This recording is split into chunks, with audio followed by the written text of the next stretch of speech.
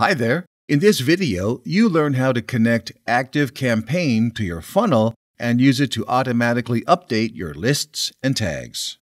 The first step is to log into your ActiveCampaign account.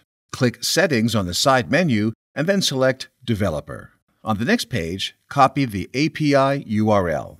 Now open a new browser tab and log into your Funnelish account. Click the account icon and select Integrations, and then click ActiveCampaign.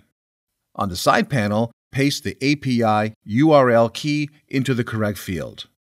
Now go back to the Active Campaign page, copy the API key. Go back to the Funnelish page and paste the key into the field. Switch the toggle to the On position and click Save Changes. Now let's connect Active Campaign to a funnel. Open a funnel, click the Funnel Automations icon, and then click the Create a New Automation button. On the new window, click Start from Scratch and then Create. On the automation canvas, click Add New Trigger and select an event. In this example, we choose Opt in and then click Create. Now select a step. I'll choose the squeeze page and then click Create.